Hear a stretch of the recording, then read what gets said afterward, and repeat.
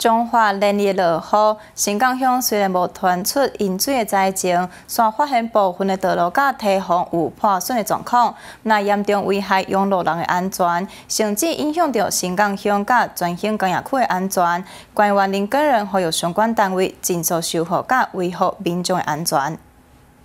新港乡民代表洪永兴将整个军头母村入去道路必顺当中，可见必顺真大方。这条路是新港乡六股镇抽水站甲西滨快速道路连接道，疑似因为受到连日大雨的影响来破损。除了这以外，新港乡外景专线工业区的乌溪堤防嘛，侪处破损内落。就是咱六股镇抽水站啊，衔接啊，咱台六十一线的衔接架桥高架桥架吼，啊，因为连日来的大雨冲刷吼，啊，以在衔接的。那个联络道的桥梁桥墩哦，啊，冲锋线已经脱离啊，造成危险吼。这条是啊，符合阮全兴川啊，以及新港乡所有的乡民的啊生命安全咯，防水吼。啊，即个风台啊，即个大水过了吼，这个堤防吼下陷吼啊，足严重的吼。这两处医术拢因为连日大雨影响，地处破损。堤防破去的所在，甚至产品台将卡存入去，拢打袂着底。机关林根人就表示，将赶紧协调相关单位前来会勘征收。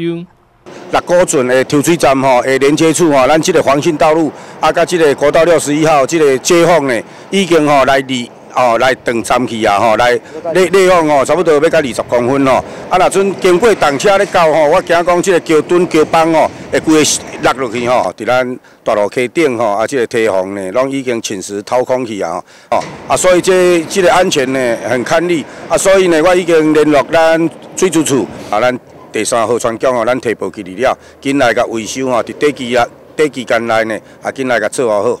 大雨一直是考验公共建设是毋是坚固耐用天然因素之一。虽然讲政府一再表示，即个大雨超过当初建设标准上多，才致使灾害连连，是毋是代表着遮建设已经无符合现况？政府应该好好啊思考。新中华新闻李明宏、新港采访报道。